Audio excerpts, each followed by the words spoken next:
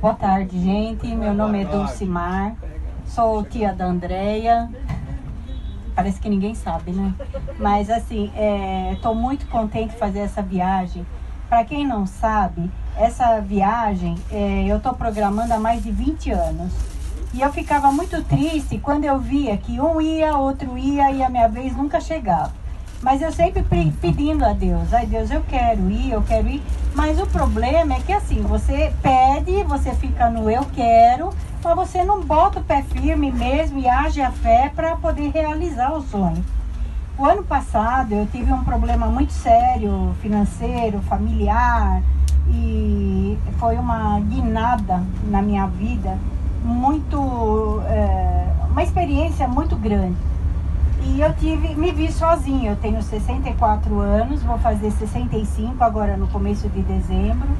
E só para avisar, eu não tomo comprimido nenhum, remédio nenhum. Deus conservou a minha saúde e conserva. E, e eu tinha, eu queria ir para Israel.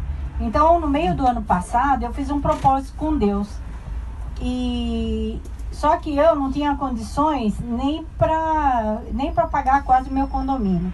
Eu já tinha vendido carro, vendido um monte de coisa devido a esse é, problema financeiro que eu tive. E lá no meio do meu propósito eu pus a viagem de Israel. Quem olhava falava, você é doida. Não tem dinheiro nem para pagar quase as contas, vai pedir viagem para Israel?